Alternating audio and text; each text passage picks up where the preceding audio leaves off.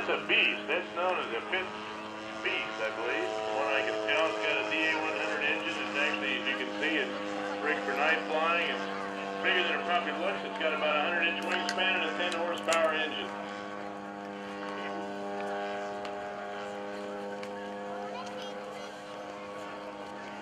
I, I've had trouble enough flying these things.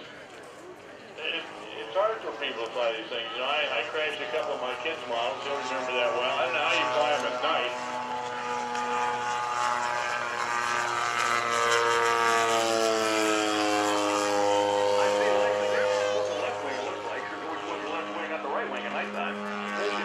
right side up or upside down. Maybe they do it by faith. I think we're going to gear down when you come into land. You can't see that airplane.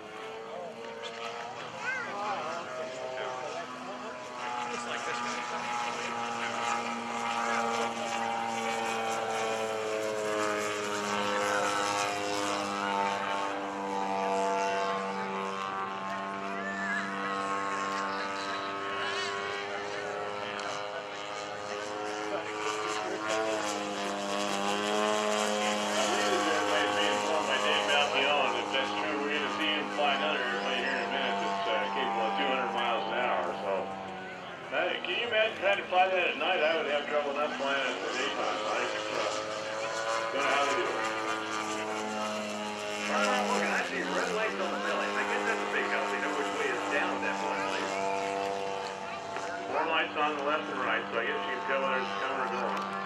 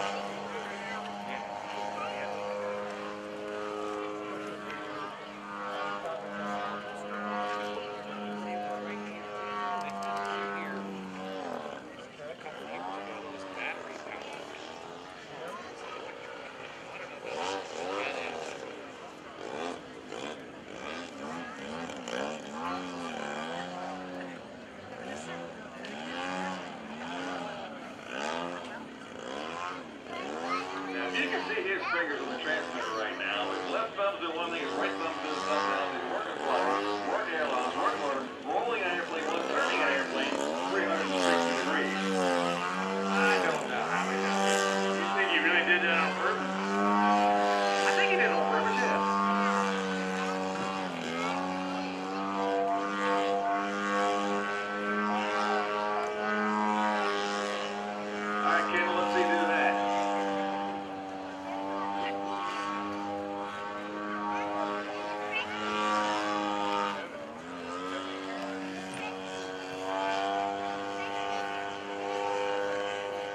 transfer, which is commonly an airplane to do.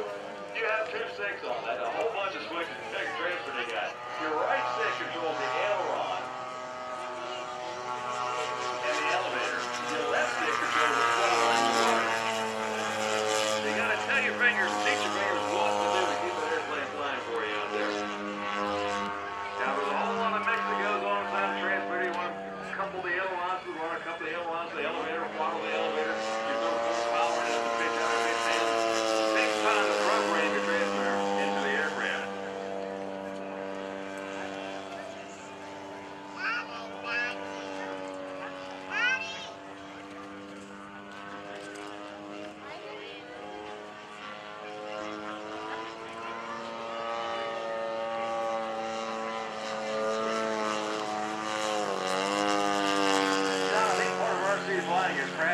Over. That's the, that's the learning process with RCs.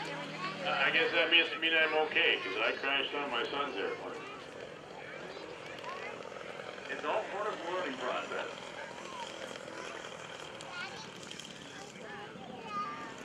Well, a tail dragger on the pavement's pretty good for what they call full-scale airplanes. That's really that.